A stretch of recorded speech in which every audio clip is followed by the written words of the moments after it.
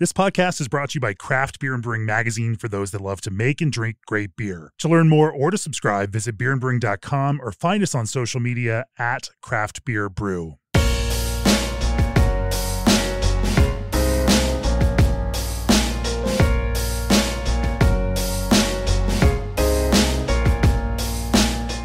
It's episode 348 of the Craft Beer and Brewing Podcast. Thanks for joining me on this special fermentation focused episode. Brought to you interruption free by the yeast and fermentation specialists at White Labs. If you brew beer, you're familiar with White Labs. They've been supplying brewers with the highest quality yeast and fermentation aids for many, many years and now serve brewers around the world from outposts in San Diego and Asheville in the United States, as well as Copenhagen and Hong Kong. Through today's episode, we'll focus on the keys to effective fermentation from yeast health to enzymes and more. Joining me for this conversation are White Labs founder Chris White. Welcome to the podcast, Chris. Hello, thank you. Happy to be here, Jimmy. It's great to have you on, and uh, you know, first time here on the podcast. Also joining me, Beachwood Brewing co-owner, brewmaster Julian Shrago. Welcome back to the podcast, Julian. Jamie, thank you. It's an honor to be here with everybody, and I look forward to all the chat. It'll be fun. It'll be fun. And then uh, uh, Russian River head brewer Garrison Fratoni. Great to have you on the podcast as well. Hey, Jamie. Uh, super stoked to be here. a long time listener. Long time. So excited to be here with everybody. Appreciate that. We had a great time hanging out uh, at the uh, Brewers Retreat earlier this year as you were helping make everything happen for us. Um, of course, Russian River and White Labs have a long history together. Um, a couple weeks ago, and I was talking with Vinny Cilurzo, who was recounting to me stories of street corner yeast pickups back in the very early days of his brewing and your lab, Chris. Um, you know, why don't we uh, why don't we kick things off with a bit of White Lab's background? Uh, you know, of course, starting a yeast lab for craft brewers and home brewers was not exactly a safe business bet back when you got into it. Uh, it was certainly a, a, labor of love. What drove your interest in yeast and fermentation, and uh, how did how did that evolve uh, into the worldwide business that it is today? Well, I don't I don't think I really knew what I was doing, but I was just trying to homebrew, and uh, kept making yeast and kept giving it to people, and then over the years, a business developed out of that.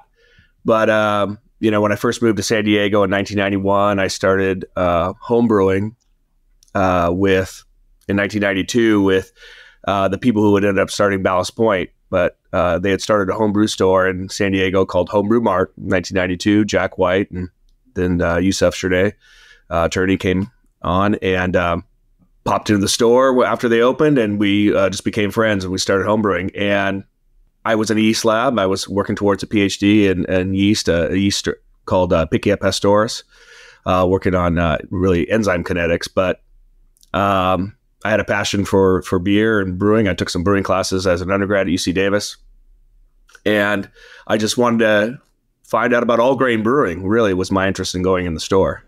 Um, and uh, but just the way it worked, I started really doing more yeast uh, because uh, that was my passion and microbiology and the what yeast could do to fermentation.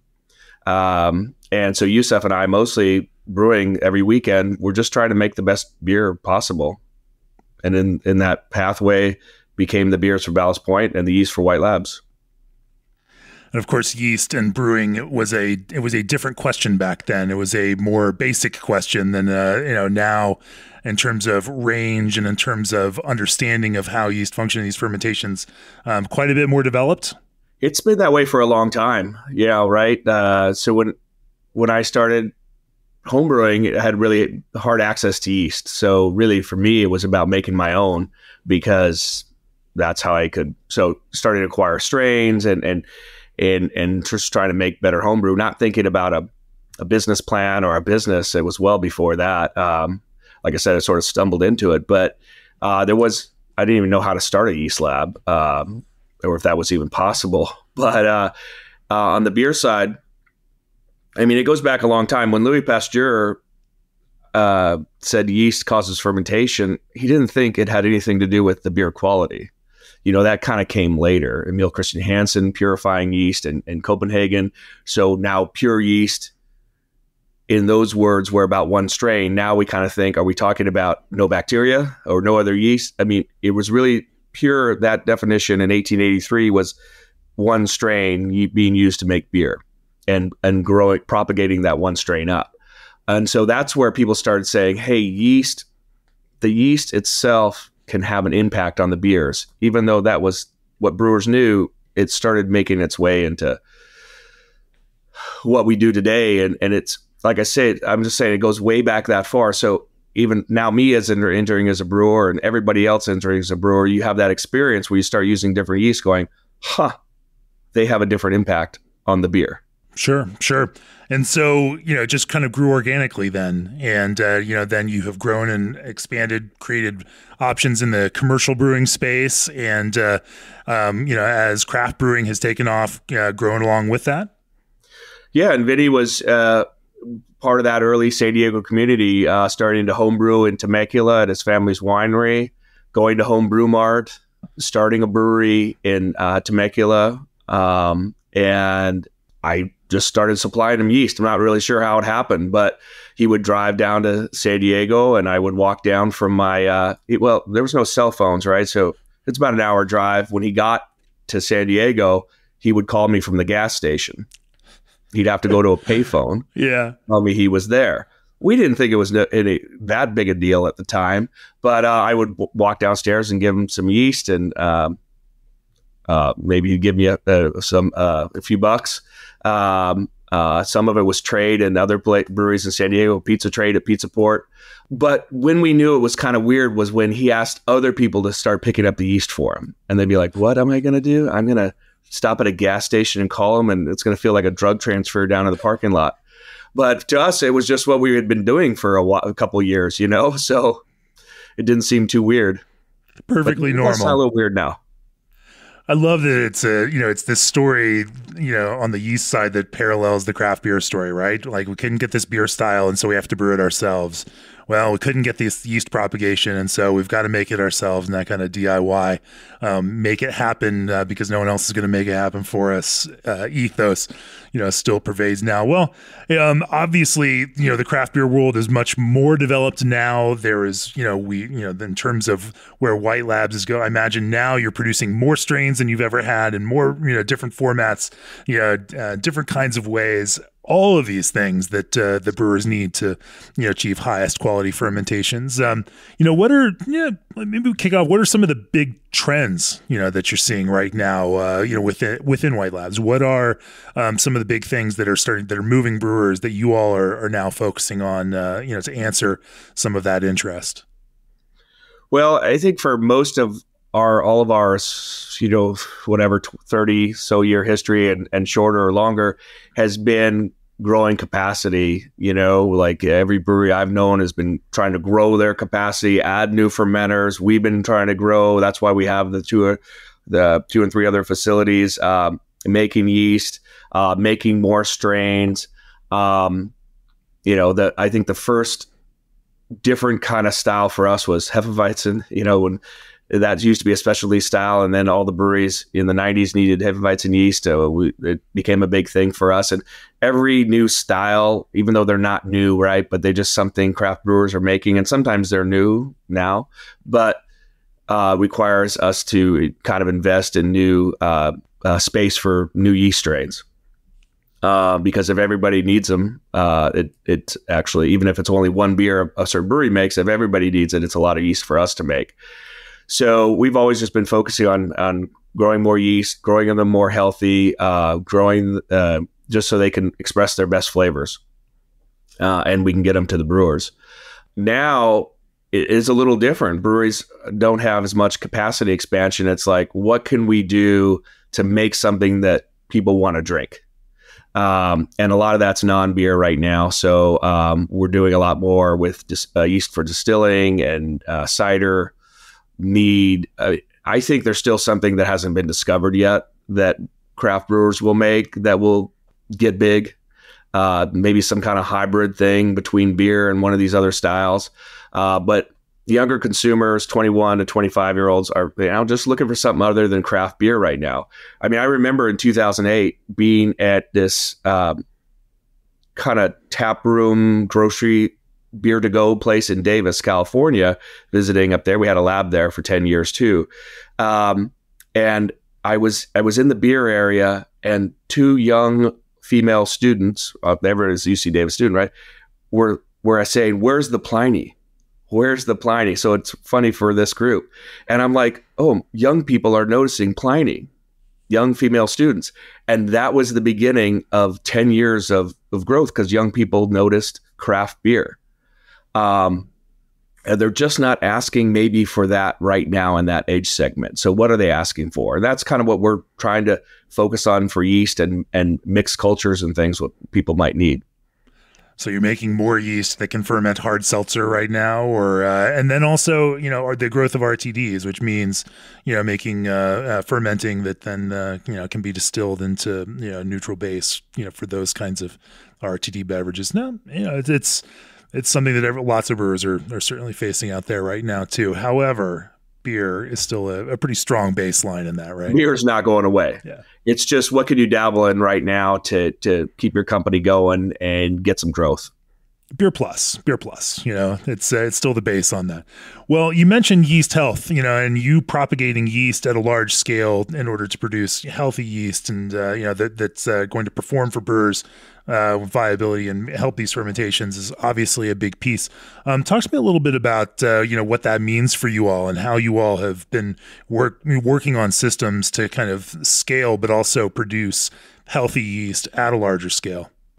Yeah, so I haven't deviated that much since 1995 and how we grow the yeast. Um, 21 day process, small batch. Uh, so what I focused on was just more and more reactors and try to keep them small batch. Um, because you want to, you know, if we have uh, a bunch of different batches every day coming off, we can keep the viability high, uh, the purity, uh, and um, and a lot of variety of yeast strains. So we don't just make a big batch of yeast and then make another one and then another one. We have, you know, 40 here, 40 there, 40 every day. So, um, and that adds up to all the different strain varieties we have. So that's how I grew our capacity was just bigger and bigger spaces and facilities, but kind of the same production model where a brewery might just go, okay, I'll take my 10 barrel system to a 100 barrel system. I'll put 400 barrel fermenters in and they can scale that way. I didn't really scale that way. I scaled more with square footage and people. Um, Lots of parallel uh, growth fermentation exactly. rather than just, you know, growing the scale of the individual uh, propagations. Right. Interesting. Interesting. You know, are there specific, uh, uh, you know, yeasts that have driven a lot of growth over the last few years for you? Well, I mean, hazy, you know, making more London Ale variants uh, than you've ever done before. Or? Yeah, our um, London Fog yeast it, it, became a top seller when we came out with it. Um, uh, even more in Europe than it is here in the U.S. Uh, and a couple years ago visiting our Copenhagen uh, facility, they kept giving me hazy after hazy when we'd go out uh, and, and, try some beers. And I said, "Is there anything else other than hazy beers here?" And he looked at me and they said, "Isn't that what you guys are drinking in the U.S.?" Yeah, but we also have some lagers and we have some, uh, you know, some Belgian styles, you know. So um, uh, it's funny how these the the, the styles just tra- go all over the world and. Uh, uh, so that that had a tremendous impact on on I think everybody's brewery. Everybody started having to make very heavily dry hopped beers in new ways, using new strains or new methods to keep them hazy. Um, and uh, it was it was nonstop for a long time. I think something that seemed similar to that in a different way was saisons. When saisons, uh, I don't know, more than a decade ago, I uh, got popular, we were releasing new yeast strains for saisons. Everybody was making saisons. They were that hazy. They were that Belgian kind of, for lack of a better word, uh, phenolic flavor um, uh, beers coming on. But then that's when hazies got popular. That's when we saw a decrease in the interest in saisons. Interesting, interesting, and maybe saison will come back. I keep uh, my fingers oh, crossed. Yeah. I've been been drinking more these days, uh, you know, just because it's counter trend. But uh, yeah, we'll see about that one. Well, let's uh, let's talk a little bit about, uh, or let's get into the subject of, of, healthy fermentation, since we're kind of there already about the yeast scale. You know, as, as healthy fermentation transitions into uh, you know the commercial brew house, maybe Julian, you can kick off you know some of our talk about uh, how you set up healthy fermentations, uh, you know, whether that's starting on the hot side before the fermentation ever begins, um, or some of your, you know, pre prep process uh, as you are getting ready to you know set up a healthy fermentation coming in uh, you know uh, out of the hot side of the brew house. Talk to us a little bit about your process around that. Some of the things that you focus on, and some of the ways that you start setting up those healthy fermentations. Because it's not just when you load it into the fermentation tank that healthy fermentation starts even earlier than that. Uh, absolutely. I do want to quickly say I was in Belgium a couple months ago with my wife, and we found almost no saisons available like anywhere. It's a style that has really, really uh, diminished in perhaps popularity, but certainly in production, even in Belgium, uh, they're kind of kind of scarce. But uh, when it comes to yeast health and fermentation, the number one, the first thing that I look at, not the only thing that I look at, but the first thing I look at is cadence and uh, repitching rhythm and frequency. And in general, um, our house ale yeast, which is White Labs Cal Ale yeast, uh, in general, that gets repitched every five days on the early end, uh, but and maybe on the eighth or ninth day on the long end. But in general, it gets repitched on a weekly cadence. And so the first thing that I look at is is uh, how frequently and how regularly am I going to be able to repitch that yeast and keep momentum going, kind of like a biological momentum, if you will, because it certainly makes a difference. If you pitch a yeast into a beer and then you maybe wait 10 days or 14 days before you repitch it, you may have gone way past any kind of terminal gravity into the point where the yeast's health is really, really suffering. We've certainly seen that before, more often with lager fermentations where we're not brewing them as frequently, but frequency is the first thing that I look at. Uh, what is, the, uh, yeah, what do you, what do you, what's a sense of, uh, you know, what goes wrong with those when, uh, when you don't get the rhythm right? When you don't get the rhythm right, uh, a couple things can happen. If you if you try and harvest too early, you won't have enough cells there. Uh, fermentation won't be complete enough, and not enough yeast cells will have either flocculated or you know really dropped out of suspension. That so your harvest is going to be really poor and not dense enough. You won't have the cells for the next fermentation. Uh, the other thing that you look at if you wait too long before harvesting and repitching is uh, viability and vitality both decrease. The amount of healthy cells that you have and the general overall health of those cells diminishes with every day that passes. So um, cadence is is super important, and then also looking at uh, volume of yeast, making sure that at least in a production environment, that at least once a week, I'm brewing a batch of beer large enough to supply all of the batches the following week. So volume is another thing too. And um, most of the fermenters that are a production facility are 45 barrel fermenters. And in general, um, I will get enough yeast off of one 45 barrel fermentation to to pitch into anywhere from five to 10 45 barrel fermentations the next week. So as long as I have one large batch of beer, you know, kind of at the beginning of each week, I know I'm good for the next week. And then also looking at how many generations you're carrying the yeast because you start getting further along and uh, things like bud scarring become more of a significant issue. The chance for mutation or mutations uh, becomes more likely, and the characteristic and reliability, predictability of the yeast starts to diminish uh, once you get too many generations in. And so for us, we play it fairly safe, and we usually prop up uh, a new pitch every six to sometimes 10 generations. Six on the on the early side, 10 on the latter side. And then another thing that I look at too is what is the strength of beer that I'm repitching into? What is the strength of the beer that I'm going to be depending on to harvest from? And there are certain styles of beer, certain alcohol percentages where we know the yeast is going to be terminal, where we know we're not going to harvest from that that type of beer. And there are also certain high alcohol styles that we aim to go in at a very specific generation because we just observationally and kind of uh, you know qualitatively we've observed that maybe third or fourth generation is the strongest and most apt to reliably ferment a barley wine or a triple IPA, for example. But those are a couple common things that we look at. But in the production environment, repitching frequency is the first thing I look at.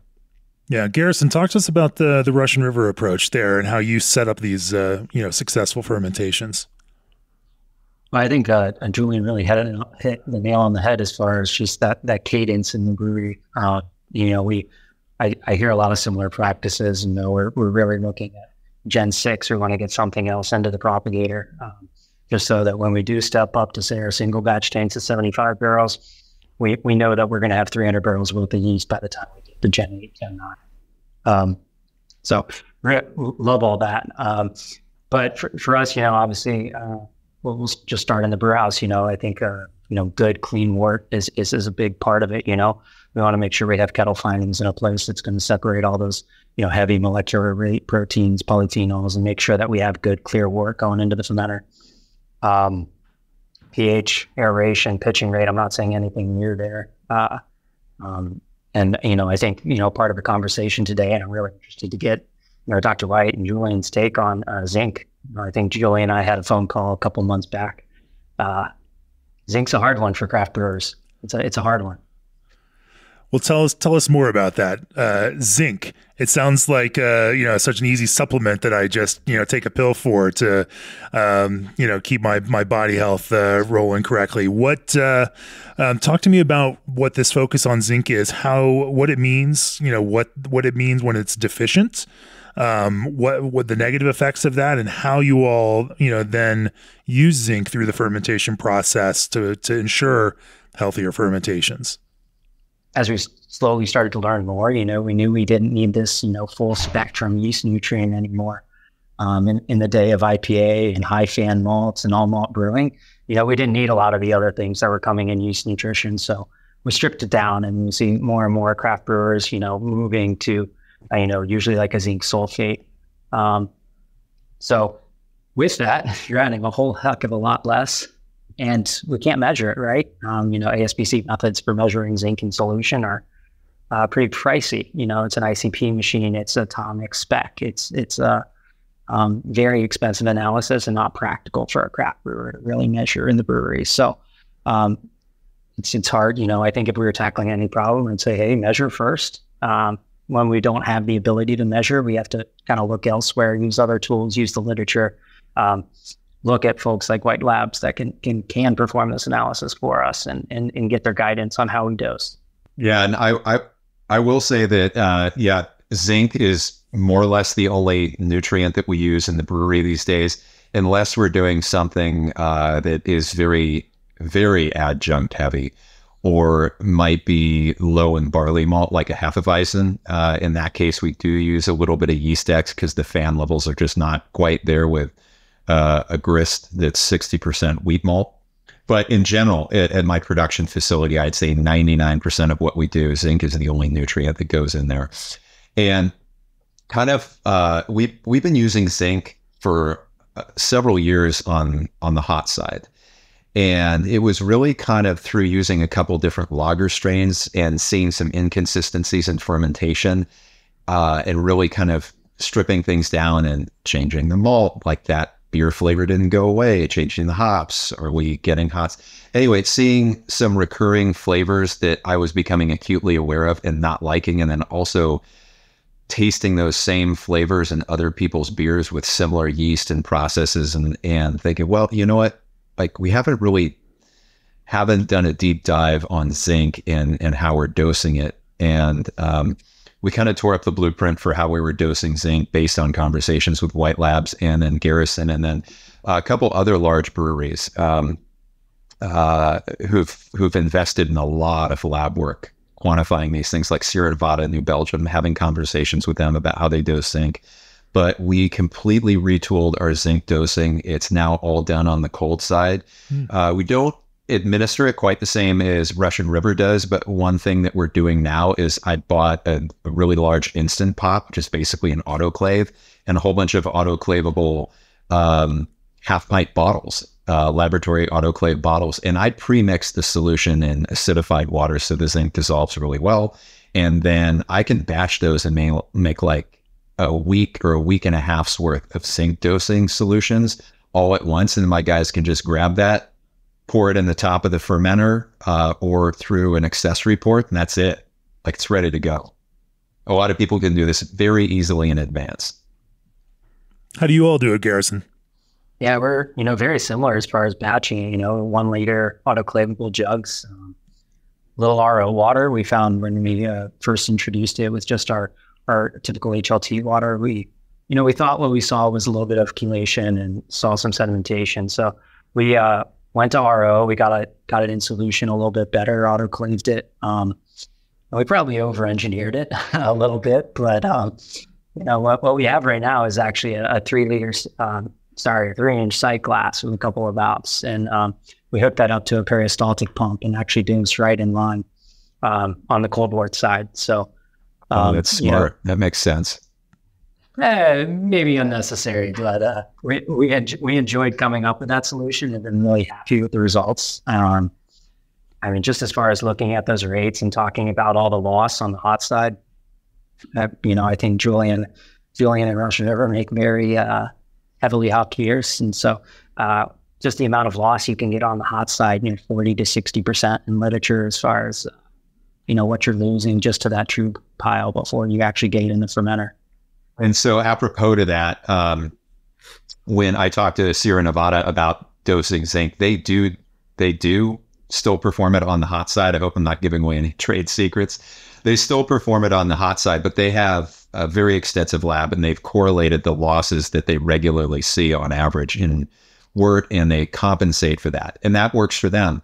Uh, and I'm Chris, I'm sure you can attest to the fact that zinc rates, while there, yeah, there is a general range, some yeast are way more sens- sensitive to zinc levels than others, and some benefit quite a bit more. Um, I read in a couple places in some older publications that lager yeast requires half the zinc of ale yeast, but that wasn't really substantiated by anything, or uh, there wasn't any supporting hypothesis like it requires less because of this biological reason. We found the opposite. We found that our lager strains are much more sensitive to uh, zinc deficiencies, and we we have to hit that certain level. Like I don't worry if I left out zinc entirely, I wouldn't worry about getting a clean beer out of certain ale yeast. It might not land in exactly the place that I want, but I wouldn't be overly concerned with it. With a lager strain, if we left out zinc, I'd be like, it's anybody's guess as to where this one ends up. Yeah. It's a fascinating topic. I, I mean, I could talk forever. I love that these guys are really dialed in uh, because it has an impact on their beers. Um, look, most craft brewers aren't doing anything with zinc, and and you don't have to to make beer. That's the important thing, right? You don't have to with fermentation. So many of the things we could talk about fermentation, you don't have to. But you want to make try to make some of the world's greatest beers, this is what makes the difference.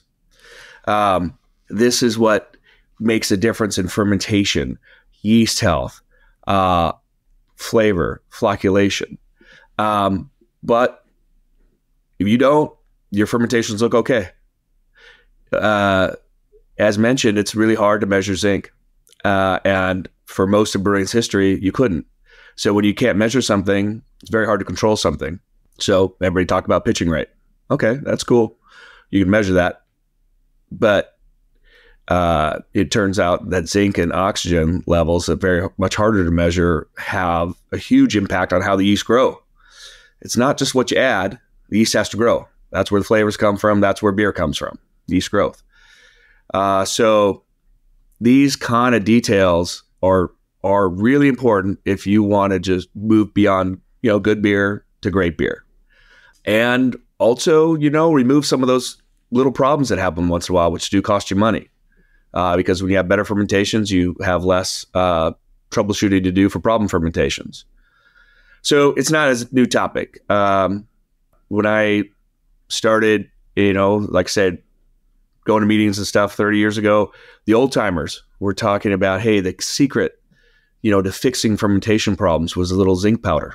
Um, and then I had a talk with, uh, you know, the famous Dr. Michael Lewis, right? Most people know him from the first UC Davis brewing professor, still in Davis, and uh, uh, retired, right, of course. But uh, anyway, 1963, right? Coming on to UC Davis uh, as a brewing professor and we had a talk in the 90s uh, or early 2000s uh, when we were working on zinc that he, he said something very interesting. why does zinc addition make a difference? There should be enough zinc from the malt, right? We're going back to these numbers, you know, what's supplied by the malt. So why is it making a difference? He said something very smart. He said, it must be deficient, but we don't know why because it wouldn't be making a difference in fermentation. So, you know, been worked on for a long time. And and then, you know, with dry hop beers and, and hop creep uh, being a bigger factor with all these tremendous amounts of hops used, it's have a resurgence of interest because it can reduce hop creep time uh, because yeast are more healthy. Uh, they're doing everything better. And I guess just sort of one more story in, interrelated here is um, after Jamil Zainasheff and I wrote that yeast book back in 2010, he started Heretic Brewery. And after a couple years, they were having some fermentation problems. And his brewers were like, oh, this, that, this. He said, let's just focus on the fundamentals we just wrote about. So they dialed in their oxygen uh, concentration. And this was before we were measuring zinc. So a Heretic was next to Anheuser-Busch in Fairfield. They ha- they nicely measured his the zinc form, and it was zero. And they were meas- they were adding zinc, uh, they were adding nutrients in uh, you know in the whirlpool into into boil whirlpool like people do, and just wasting their money. And they thought, oh, okay, let's add on the cold side. And other people were talking about it too.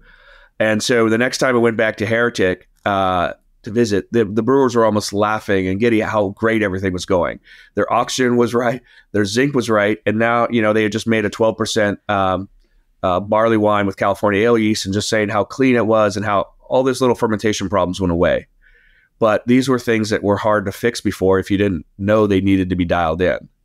Uh, so Heretic did the same thing, started autoclaving, uh, sterile, uh, autoclaving a zinc solution, stock solution to make it sterile, adding it in with the yeast pitch, and seeing really f- quick results. That's exactly why we did Servomyces over, you know, in the early 2000s, over 20 years ago with Lallemand, because to, to in order to protect zinc uh, from the hot side into the cold side we just never thought of adding it on the cold side back then, I guess.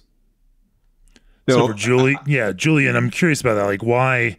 Obviously, going through this autoclave process to to make sure that you're, you know, uh, putting in uh, uh, clean and um, zinc into your cold side. Like, it seems like that's a more difficult process, obviously, than adding it hot side, where that that he is going to uh, uh, sterilize it. Um, and obviously, there's some mix but it's curious. I mean, how fast does the zinc degrade under that heat? And uh, um, it does still apparently work on the Sierra Nevada side. Why why go to this cold side trouble that you do? No, and I know I'm sure you've done it both ways. Sure. Uh, I, you look at me. Of course, yeah. I've done it both ways. Uh, oh wait, that's not a Friday night confession, by the way.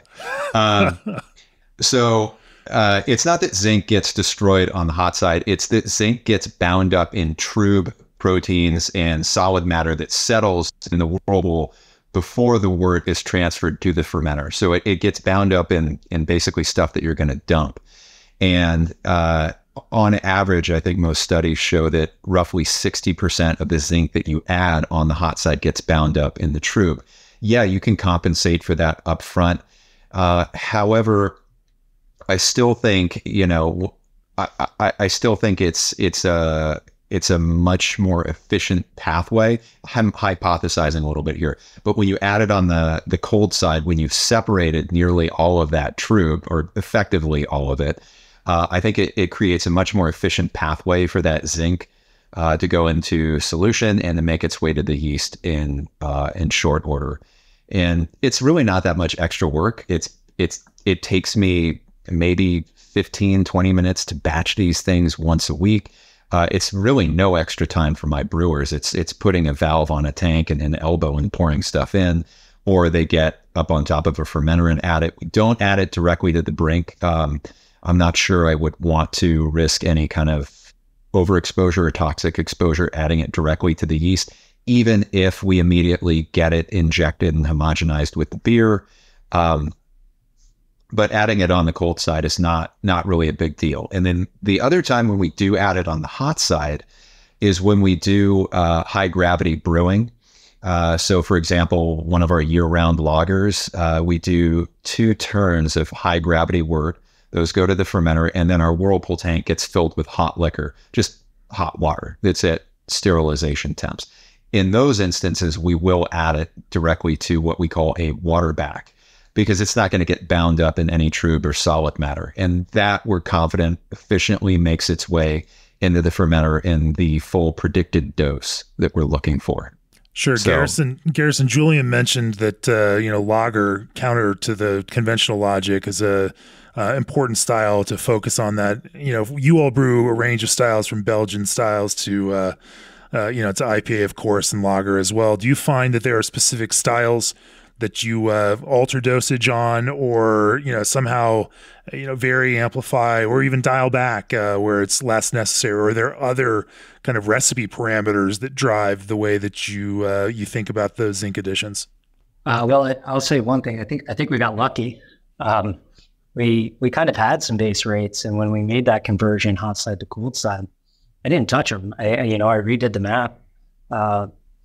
I said, okay, well, if at anything, I'm going to go from 0.15 ppm to 0.25 ppm.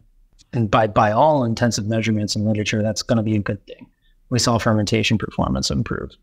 Uh, so we did try to quantify it. I think it's inherently hard to try uh, to, to measure what you actually add to the wort and what you actually get to the fermenter because there can't be yeast present.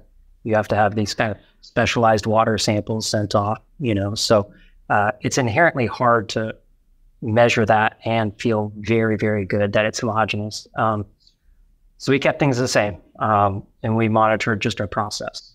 Uh, uh, Joe Joe Hertrich said it on an MBA podcast, and he's like, you know, I, I could look at a malt COA and you know 140 uh, beta glucan may mean something to one person, but if it works in my process, then it works. And you know, just more off, more just look at the things in your process that you are familiar with how they perform. And so we made that dosage. We we monitored the performance of the process and, and felt good with it. Um, take that to the lager side. Um, we started to see some what we thought were symptoms of, of over adding zinc. Uh, you know, so the literature says, you know, stuff about having very concrete type slurries on the bottom of your tank. So we got our yeast slurry back into the brink, and instead of being you know, in the one to 1.4 billion cells per mil. We were in two, three billion cells per mil. And it was very concrete. We couldn't, we could barely move it with a positive displacement pump. Uh, so we were like, ah, maybe, maybe we overdid it. Uh, and so we just backed it off just a little bit and watched again. Um, and when we're talking about these additions, we're talking half a gram to a 75 barrel batch of beer. Um, so you just have to know that these numbers are super, super tiny and it doesn't take much. And um, when we are measuring this this bare bone nutrient at a uh, no five to seven gram amount in a 75 barrel batch of beer, it's uh, it's quite a bit. So I just have to be conscious and just watch. Very, very small numbers have huge impacts. Wow. But some of the tools that we have available to us now are cost almost nothing. Uh, to get a microgram scale 10 years ago, there were only a handful of laboratory supply companies and they were like a thousand bucks a piece. Now you can go on Amazon and get a functionally very great, reliable great microgram yeah. scale for like 10 or 15 bucks. And yeah. it's digital, it comes with a proof weight. Uh, and so we, we find that those are functionally very accurate for the, the zinc dosing that we're u- doing. So um, scaling things is is pretty easy. Measuring out your in- ingredients and precisely dosing zinc, I think, is uh, fairly easy. But as Garrison mentioned, a lot of it is kind of, um, at least our dosing is done uh, from kind of an academic approach. I when I redid the calculation for how we were going to apply it in our brewery, I did assume uh, a certain amount was coming from uh, the base malt that we were somewhere in the the uh, 100 parts per billion or 0.1 ppm range. And then I also assumed that the zinc crystals that we were getting were 22% elemental zinc by by weight. And so I backed in the calculation from there and found that just in the roughest sense, we're adding uh, one gram of zinc in solution for every 10 barrels of beer that we produce is is kind of the rough translation of that uh, to get us to 0.3 parts per million or 300 parts per billion is kind of the generally accepted sweet spot for most beers. Uh, but what I will say is you can make a really, really good economic argument for this too, in that uh, we always had highly attenuated uh, West Coast IPAs at Beachwood. Um, before we changed our zinc program, uh, we were seeing 87 to 88% attenuation on all malt beers. This is purely silo malt. We're mashing on the cool side, but we've got very healthy cal ale. Uh, everything else being equal and just changing the zinc dosing that we're doing, we're now seeing 91 to 93% atten- apparent attenuation on all malt beers. And so we were able to back off our base malt um, like seven, 8%. That's a huge savings over the year, especially the bigger your brewery is. I mean, that could, that in and of itself could amount to tens of thousands of dollars in annual savings. Uh, you know, for for my brewery, those savings are are really significant. The, the question I have when you say that you're increasing performance, what do you define as that performance of of a fermentation? You know, what are some of those kinds of uh, you know key numbers, uh, you know, key performance indicators that uh, you know that you're looking for, you know, that would define success or less success? Well, ultimately, does the beer taste good and is it sure, is sure. it clean and aromatic? That would be the number That's one. That's not uh, quantifiable, though, Julian. Come on, we need some numbers and data. Okay. Quanti- okay, quantifiably, what do we look for? We look for shorter lag time. In other words, the fermentation is is uh, apparently active sooner. Uh, we see terminal gravity sooner. We see a more complete fermentation. Uh, we see a denser harvest at, at time of harvest, and we also see increased viability at time of harvest. So those are those are measurable things that you need very few tools to kind of quantify and get a general sense of. I think one of the biggest faults people, you know, you'd find, you know, in competitions or beer festivals or you know just with craft beer in general, uh, you know, between the okay, you know, beers, good beers, great beers, is is under attenuated. So I think Julian hit it right there. Is like one of the parameters is seeing that attenuation change. I mean, one of the things zinc does is increase maltose and maltotriose uptake. Uh, so, you know, you get more of those carbohydrates in the cell. You get zinc working uh, a, uh, with the metalloenzymes to do those reactions better. You're going to have more complete reactions, driving the chemistry towards finish. Um, and uh, the the trick, though, you know, is not just adding it, but that zinc has got to get to a cell and then inside the cell. So that's why adding it after the trub removals is helpful because uh, chelation is what happens to, to metals with, with, protein, and what you're doing is removing protein in the in the trub. So kind of naturally, I guess we'd expect that a lot would go away. Now we can measure it; we know that. So, um, but a lot of things have been measured difficult to measure in wort because it's so complex. And so that's why it's taken longer too for some things. But so the enzyme, you know, this, this zinc has to find it, given cell has to find an enzyme. And so homogenization, you've heard a couple times here, is so extremely important. Uh, Garrison mentioning adding it in line into the fermenter, that is your best practice if possible. Same with yeast, getting better distribution. But unlike yeast, enzymes aren't going to grow, right? They, they got to mix uh, at least yeast growth gets a population blooming. But with with zinc, it's just you know, you you really got to get that distribution. So, which is something brewers didn't have to think about before, really, because nothing else besides yeast was added on the cold side. But this is just the beginning, I think, of us looking at what we can add on the cold side to improve fermentations. Because the brewing industry is weird that we don't. I mean, it feels normal to us, but everybody doing yeast work whether it's pharmaceutical or other industries, you're adding all sorts of things on the cold side. But for beer, we care about oxygen, we care about contamination. For historical reasons, very important that we have just not done that. But there are huge benefits if it can be figured out. And so that's what we're seeing right now. But the the homogenization is going to be the key to for any enzymes and nutrients on the cold side to make sure they um, they work how do you how do you homogenize, Julian? Uh, obviously, if they're dumping in the tank, do, are you, um, you know, fostering movement in that tank for that homogenization in any specific way? Yeah. So our typical practice uh, to fill most of our our 45 barrel, barrel fermenters at the production facility, it's three turns on the brew house to fill those. our typical practice is, um, and this is all done within uh, like all of those knockouts happen within an eight hour period. So from the time the first turn goes into so no no Drauflassen for you, all, all a single day. kind of Drauflassen. So, uh, so th- that that's how we do it. But typically, the way it happens, first knockout goes into the tank, yeast gets uh, injected in line uh, just post heat exchanger. And so that gets homogenized with the first turn in the fermenter. And then when the second turn is going in, that's when we'll add the zinc kind of at the beginning of that knockout. So it does homogenize with that. I'm sure the zinc uptake starts happening almost immediately. Uh, and then uh, after that second knockout, the third knockout usually goes in four hours after that. But it's typically it's typically the the second turn where it goes in. And then if a beer is brewed over multiple days, which sometimes is the case for the sake of yeast growth or just the way that the schedule falls and how we have to stagger brews.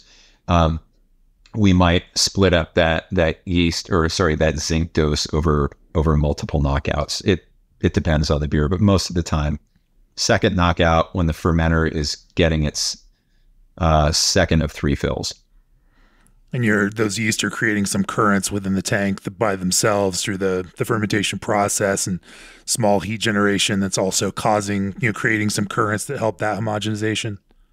I'm sure that's a contributing factor but i think the biggest factor is really just the fact that we're pumping and wort. I mean that's going to overcome overcome any other kinetics of uh, the yeast that are that are taking place that early in fermentation. Yeah i, I, I would agree. And uh, the fact that you have more fills going right what I would not want to do. I mean, a lot of people will just add, you know, they'll they'll put their they'll, they'll fill the fermenter and they'll add on the top uh, through a top man way or something, and that I I would recommend not doing because yes, you're going to get some turbulence in the fermentation, but it's just not enough to distribute that mineral zinc everywhere where it needs to be to get the best practice, best performance.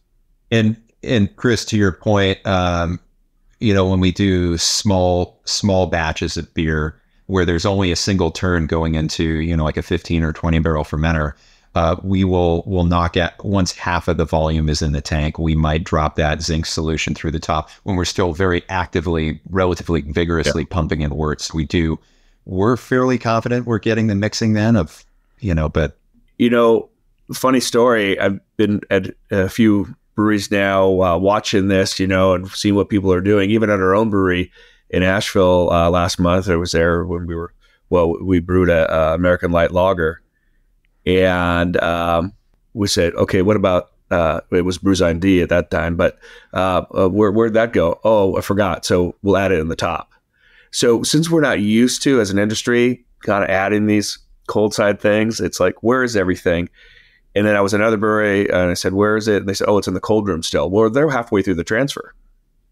So it's kind of like assembling these things, getting used to a different kind of practice, um, getting your whole team to be doing it the same way so it doesn't have unpredictable results.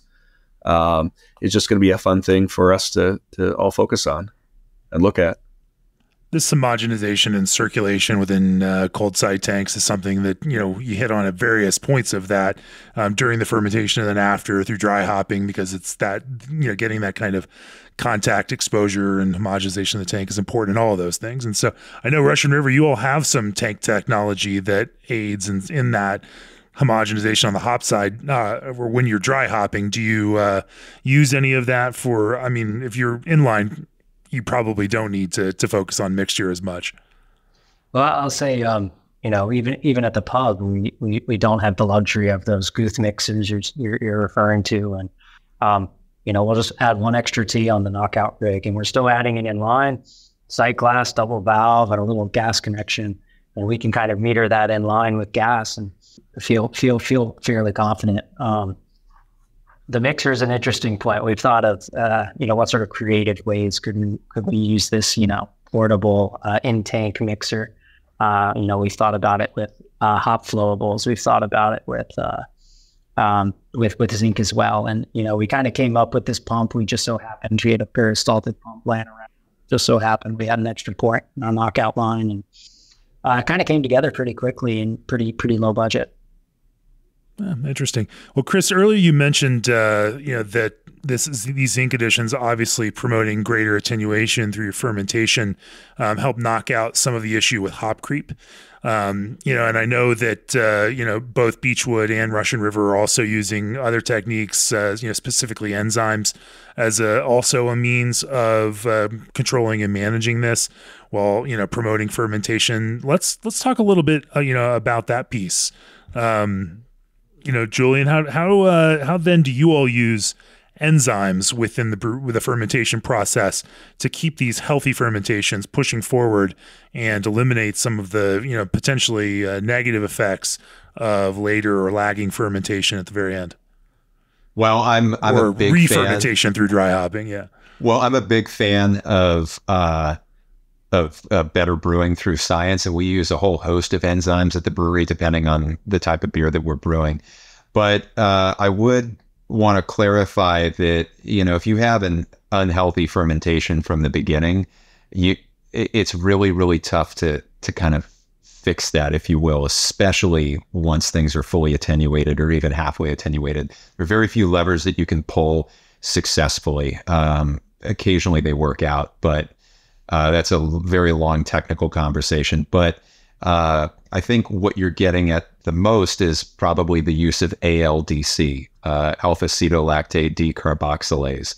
And that is the enzyme which, if everybody is not using it, I think they should be using it in dry hop beers. Um, there's some genetically modified yeast uh, yeast strains available that will produce that enzyme, uh, you know, on their own. Uh, but that is the enzyme that helps clear that diacetyl pathway uh, in fermentation, especially during dry hopping when com- fermentation is really complete and you're depending on just a little bit of healthy yeast still in suspension to complete that um, that hop creep related fermentation when you have those alpha diastase enzymes introduced from the dry hopping uh, itself. And what I, if there are breweries out there that say they don't get hop creep, um, they're either entirely brewing brut IPA or they just they don't know it because hop creep happens. Re-fermentation happens when you dry hop a beer. We have highly attenuated base beers that are completely absent of dextrin malt. They're mashed cool. Uh, it's it's not a very dextrinous wort, and uh, we always see a rise in head pressure after we uh, after we add dry hops. And that's not just CO2 coming out of solution. I thought that's what it was for a long time until people discovered hop creep. That's hop creep. That's re-fermentation that's happening. And every hop varietal is different. Um, we have found uh, certain hop varietals are much more problematic than others. And so for us, we use in any beer that is getting dry hopped, we will not use any dextrin malt. Uh, we always use ALDC uh, on the higher end of the dosing rate with our yeast. So it gets pitched at the beginning. And then depending on the dry hop, we will also add it with the dry hop. Uh, beers that get brewed with Mosaic, uh, my brewery will get it with a dry hop. If we dry hop with something like CTZ or Citra, we don't see the same type of hop creep. And, you know, we've demonstrated this many times with uh, lab tests we don't see that latent diacetyl. So in some of those beers, we don't have to add ALDC with the dry hop. I think it's very um, hop varietal dependent. Um, I think some of it is related to the alpha diastase uh, amounts that are on the hop varietals, and I think I I think some of it's also related to the polyphenol levels in the hops, and I could I can get into that deeper if you want me to. I'm very curious. Strain, strain, are you? Okay. So uh, I'll I'll answer this one for for Garrison, but um, and I and I posited this hypothesis to uh, Tom Shellhammer um, at Oregon State, and then um, uh, Pat Jensen at uh, Yakima Chief Hops a couple years ago. But we have two core West Coast IPAs. We've got Amalgamator, which is all mosaic in the dry hop. And then we've got Citraholic, which is all Citra in the dry hop. And really they're they're identical beers. It's a great example of what changing one hop varietal will do to the identity and flavor and aroma of a beer. But they're on paper, they're the same beer. Um, but whenever we would see, we would always notice a larger head pressure build in a amalgamator with Mosaic compared to Citraholic. Uh, we would, whenever we would send things to the lab, um, we're usually in detectable levels for our VDK and diacetyl. Usually our beers are testing sub 15 uh, ppb, which is functionally indetectable. But if we ever did see any kind of like slight rise, like maybe 20 or 25 ppb or something at some point in the process, it was almost always in amalgamator, uh, mosaic hopped beer. And at the same time, uh, we're a brewery that relies on finings to clarify beer. We use, you know, uh, we use a silica based fining. We don't filter. We don't use gelatin.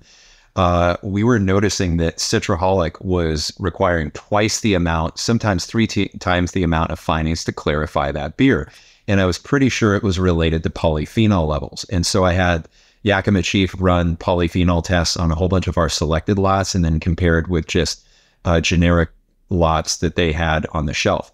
But what they found is that almost across the board, Citra had a 30% higher polyphenol level than Mosaic, Simcoe, a lot of other common varietals. And I wondered if the polyphenols were somehow inhibiting that alpha diastase or some of that alpha diastase activity. And I did a little bit of research, and lo and behold, um, polyphenols are sometimes given as a diet, an oral dietary supplement for diabetics to slow diastase activity in the gut and slow uptake of carbohydrates and, and broken down sugars. And so my hypothesis is that the polyphenol content also plays a role in hop creep and latent diacetyl. Interesting. So by so, by inhibiting the, the enzyme reaction. I, I, think I think it does inhibit it, and and certainly we know if we know anything about enzymes is that they can be inhibited, whether it's through temperature, whether yep. it's through uh, you know a, a, an anti-enzyme, uh, you know something that will will block the enzyme from from latching onto whatever it's trying to cleave. Um, but from a chemistry standpoint, it's certainly certainly possible, and I I think I think that's what we what we see because we've never seen any latent diacetyl issues in beers that were dry hopped purely with CTZ, uh, purely with Citra, but we've certainly you know we've certainly seen it happen with with Mosaic. Garrison, Garrison, what's your experience there? Uh, um, you know, and how do you all manage using uh, ALDC or other enzymes uh, through that process to to cut back uh, or to you know fight against uh, hop creep? Uh, we support it. Uh, we're, we're, big. We're big enzyme users here as well. You know, I think it's just another example how modern science has made better beer. Um, and but I will say another parallel, like economic potential of of really dialing in your zinc is we, you know, we cut our enzyme usage by three hundred percent uh, from an ALDC perspective, um, because you know we were in this we had this fermentation deficiency that we felt like was being caused by, you know, lacking yeast nutrients. And, you know, we were looking anywhere from uh, six to eight to nine days warm on hops, waiting for this hop creep to finish and the diacetyl reduction to go. So, you know, uh, you know, brewers that, uh, you know, they just want to throw more at it. So we're just putting more ALDC in the tank. And, uh, you know, we got to this ALDC rate that was, you know, frankly unsustainable. And just through just through zinc usage, we were able to get that fermentation window much further down. And you know, now we're five to six days warm on hops, where we get that same attenuation rate. Um, we are trying to basically build a little bit of dextrin content in our wort so that we know we have a pre-dry hop attenuation target and then a final attenuation target. Because uh, we're trying to keep a little little more body in these beers. I think Southern California is definitely uh, uh, notorious for having you know dry bitter beers. I people love and I love personally. Uh, but but that's not always our brand profile, and so you know we're targeting 2.4 to 2.6 finishing gravity on Pliny the Elder. Um, so we so we buffer a little bit of dextrin capacity, and we change our mash bill to kind of hit that pre-dry hop attenuation, and then we know based off the hop bill what our final attenuation should be. So um, obviously we have to still finish that that fermentation out. We have clear VDKs. We we run VDKs both on forest and on GC. Um, so we're waiting for that threshold to drop, that gravity drop to you know stop. Um, but yeah, through zinc we were able to kind of bring a lot of that down and go from a eight days post dry hop to five six. Like uh, Julian, do you see hop variety impacting uh, you know the way that you use enzymes or the way that there any dosage? Absolutely, and I think yeah, and I think the advent of some of these hop products is is is a real big deal. And concentrated pellets, and you know, there's a lot of studies still ongoing as far as you know what part of the plant material is actually you know carrying those diastatic enzymes. We found that it was a lot of different places. So, um, you know, but the concentrated pellets, we did find a lot uh, less diastatic reduction. Yep. And, and there have been a couple breweries that have done studies on this, but the the current studies and indicators point to most of that alpha diastase being bound up in the green matter. Uh, there are a couple breweries out there that have extensive enough labs, and they've done studies where they brewed an IPA purely with cryo hops and measured less alpha diastase, seen less hop creep, seen less VDK. Everything has been diminished. But, you know, I, I think cryo is a, an example of a great product, but I also view it as a supplemental product. And also, if you wanted to just eliminate hop creep by only dry hopping with with cryo, that that would get expensive yeah. too. Yeah, yeah, that would get expensive also. And I think we know that we have to have like a full spectrum of hop products to create these beers. I don't think we can totally you know do eye drops or of tinctures to to create this this hop profile and flavor sensation. Um, but yeah, we, we, I mean, we did find just changing varieties out in different formats. We saw, you know, a less, uh, yeah, less, you know, attenuation change post dry hop. So mosaic is a big offender. I, any, I, think it is. Are there any others that are like red flag hops where you know you're gonna have to put some more work into these? Amarillo, uh, Cascade. we I I, I want to say this year we're going through maybe 40 pounds of Cascade and only on a like red ale and brown ale. It's not something we typically try out with anymore. But um, another another enzyme which I I think brewers can use, uh, and they may not necessarily think about it reducing hop creep, but uh, any type of alpha glucosidase enzyme, we use both of those um, in uh, a lot of our American kind of macro style lagers.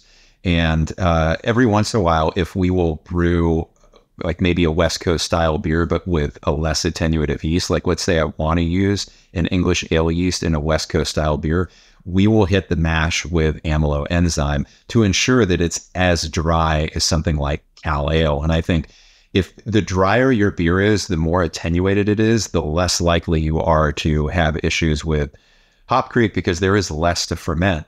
Um, and so that's, an, I think, another enzyme that brewers should consider using to ensure a dry beer. And if you're worried about something being overly dry, well, you can make up for some of that by water treatment. You can kind of counteract some of those effects of something being bracingly dry by dialing in your finishing acidity, your finishing chloride levels. And so you have a lot of a lot of adjustable uh, dials. But again, um, some type of alpha glucosidase, I think, is a is a good weapon to have. Chris, are you seeing uh, you know anything else in that enzyme space that uh, the brewers are responding to, or are you all, um, you know, how are you all operating in that in that space? Uh, yeah, I mean, I we've been working a lot with uh, enzymes for uh, brewers before, but also the non beer industries we work with in distilling and and wine and you know basically all the alcoholic fermented beverages. And you know, I like I say, I, I started so more in enzyme chemistry than anything else. So um, I, I, think they're fascinating, and there's a lot that's not supplied in malt, but they're still as natural. Um, so you know, we're brewers again are used to sort of everything coming in in the barley, which is pretty awesome. Has to be converted a little bit to malt, malted barley, but um, we're pretty lucky. But you know, the American light beer category was built on glucoamylase, and ours is Ultra-Ferm, and and there's others as Julian mentioned. But you know, Miller Lite that was it, the first American version of that uh, German technology patent that uh, produced a lighter beer because more carbohydrates were consumed. A drier beer. I mean, uh, it was called light beer more because of the calories, but now you can talk about carbohydrates. People have that more in the vocabulary now, which is cool because that's really what matters. Uh, and and the consumer is talking carbohydrates now. It's talking uh, drier. Okay, you can talk carbs or calories, doesn't really matter, but um, it's getting more inter uh, dispersed or inter whatever. But I think that's what's driving a lot of people to these other beverages outside of craft beer.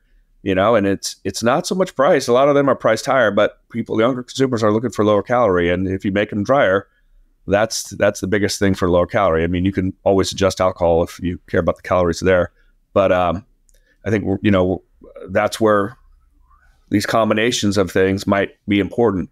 Um, and you know, as I mentioned that American Light lager that we just made uh, last month, and we also made in San Diego. You know, we're using Ultra-Ferm to uh, to make a more fermentable wort and get it under one Plato. Um, and you could water it back if you wanted to a little bit to control the alcohol, or use a lighter uh, OG if you wanted to to have a, a lower calorie or lower alcohol beer. Uh, a lot of fun things you could do there. That, or you could do the, what Anheuser Busch did with Bud Light didn't want to do the enzyme. They just did a three hour mash. I mean, so there are things they never got it as low as Miller Lite, but there are things you can do with enzymes or with our mash profile. Like it's not done after an hour, yeah, just because the color turns. Right? If you ever left a mash going overnight, you know it ferments a lot more. So that, again, that's where enzymes come in. Like, yes, they work fast, but how long do you want them to work? How how much substrate are they going to find? Uh, so it's a fascinating topic that uh, probably is just getting begin uh, to begin with uh, for some craft brewers, and some people have been doing it for a long time. Wes, I have a, a question for you related to ALDC. So, as somebody who lives in California, I love wine. Um, I love all all types and all varietals of wine, but one that I find problematic are a lot of California Chardonnays because they go through this massive malolactic fermentation, and that presents as just huge diacetyl in a lot of these wines. It's why when I gravitate towards a white wine, I, I go for something like a Sauv Blanc, which doesn't go through malolactic.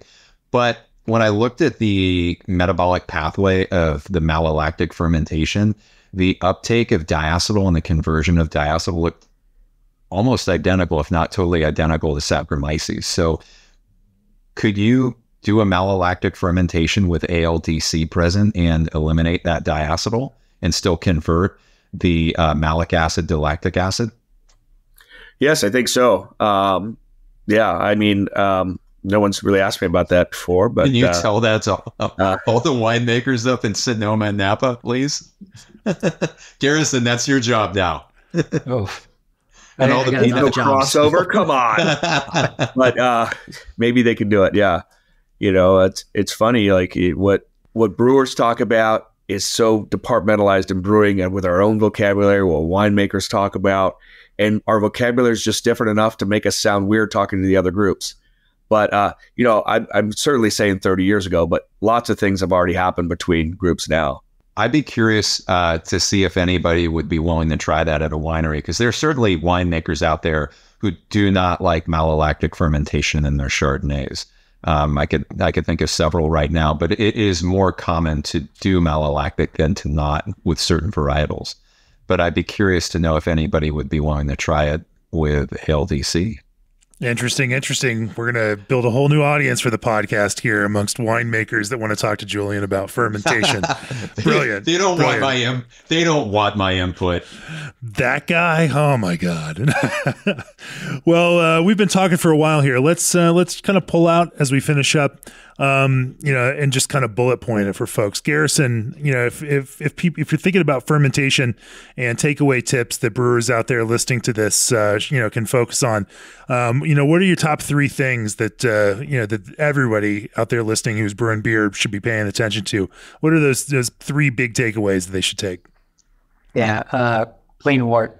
You know, look at your kettle finings, making sure you're separating things that should be separated. Um, uh, so I think that's that's that's a big thing straight off the top. Um, you know, we're, we're with Chris here, so I, am going to say make sure you have good, healthy yeast at the right pitch rate, at the right viability, um, and then I'll, I'll, ring one more bell for aeration. Um, I think that's there's a lot of cool cool ways you can uh, optimize the fermentation, um, or try to get more or less yeast growth, or more or less uh, you know, flavor active metabolic um, compounds out of controlling aeration. Julian, what are your top three takeaways? Um, I would echo what what Garrison said, um, but uh, I think before you even get to fermentation, uh, you know, figure out what inspires you and go to the source and have those have those things fresh, uh, so you have a good sense of of where the finishing line actually is. You can only brew a style so well by reading about it in the book, and and chances are you'll be way off point.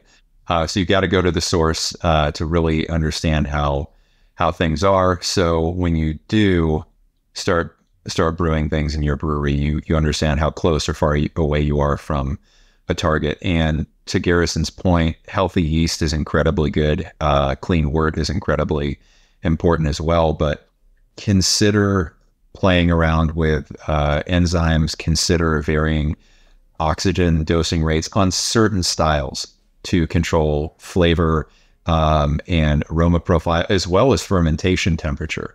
Um, I think a lot of people would be surprised where a lot of American macro lagers are fermented and how ester driven a lot of those are. So, a lot of things to consider. Interesting. Interesting. Chris, what are your big takeaways for brewers out there looking for healthy fermentations? Yeah, I, I, I think you know, pitching rate's one of the important elements. But again, thinking about yeast growth, as we were talking about, zinc, oxygen. If you can measure the oxygen, try to get closer to one ppm per um, per Plato uh, in zinc. And um, I'm sorry, we were just talking about amp oxygen. You know, rather than just a seven or a ten or flow rate. Um, and and uh, those are important. And thinking about how attenuative your beer wants to be. You know, if, if we keep if people keep complaining that the beers that aren't good are under attenuated, what what are what can be done? You know, especially without equipment. Um, first of all, sometimes it's knowing that they're supposed to be fermented drier. Like you know, I think of the Belgian beers that we started making in the U.S. and they taste fruity and they taste sweet, so people made them sweet. But you know, if you visit Belgium and you know, as people are doing, you visit the source you know, you're like, well, these are pretty darn dry, but they're fruity. That tastes sweet. You know, make fermentation create the flavors. Uh, don't just make it sweeter. That's not what most consumers want today. Um, and when they find out that, you know, that, you know, the, the, the, again, coming back to the dryness, and, you know, it's been a big topic for me most of my life. I'm a type 1 diabetic, and I've always had to think about carbohydrates and sugar. Uh, and I don't even like the word carbohydrates. I think it's a stupid word. People don't know it's sugar it doesn't matter what carbohydrate is, it's sugar in our body in 20 minutes. Uh, so, big deal. It didn't take five minutes. Uh, but we have amylase enzymes. We have everything to make it uh, in our mouth, you know. So we have everything to break these things down, plus all the microbes in our body. So beer just lives in this world, and consumers are getting smart uh, about what they're they're drinking. And so a better fermentation makes a drier product, gives you more medals at GABF because that's what wins. I mean, it's it goes on and on and on. But because uh, then the flavor shines through of your hops, of your malt, of your fermentation. Don't just make it sweeter. Make you know focus on that flavor. I think those are great words to wrap this up with. Uh, thanks for joining all of us on this special fermentation focused episode of the podcast. Again, brought you interruption free by our friends at White Labs. Visit whitelabs.com for more information. And if you've got a particular fermentation problem that you're trying to solve, uh, reach out because Chris's experts there at White Labs can help craft a solution for you. Um, Chris, Julian Garrison, thanks. Thanks to all of you for joining your thoughts on fermentation and yeast health. It has been fantastic talking with you. Cheers. Been an honor. Thank you, Jamie, Chris, Thank Garrison. You. Oh, Pleasure. man, that's a lot of fun. Appreciate it, guys. Thank you. Cheers. Thanks, Jamie. Thanks, everybody.